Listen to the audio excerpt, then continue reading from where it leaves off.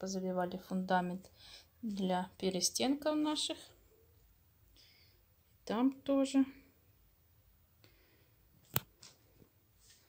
Вот так укрываем их, потому что у нас жара 45 градусов, чтобы быстро оно так не сохло, резко вернее. Потому что жарко очень.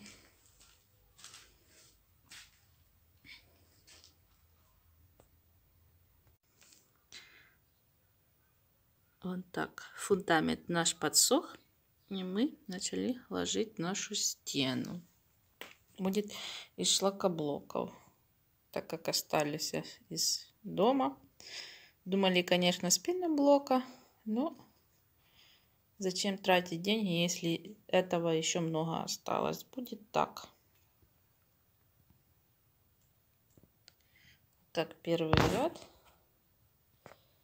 Вот эти будем заливать их, э, эти отверстия тоже. И потом будет армированный слой. Вот так вот. И там тоже уже.